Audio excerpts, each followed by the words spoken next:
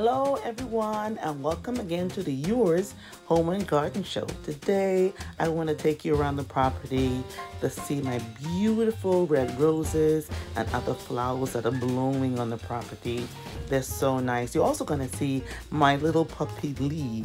Enjoy the flowers.